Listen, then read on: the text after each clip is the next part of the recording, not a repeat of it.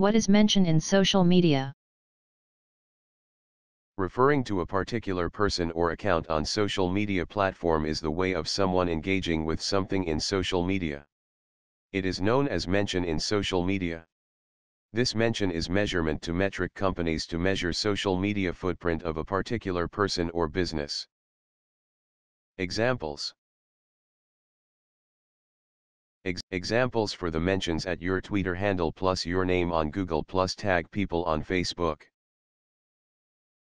Need more details? Links are in the description.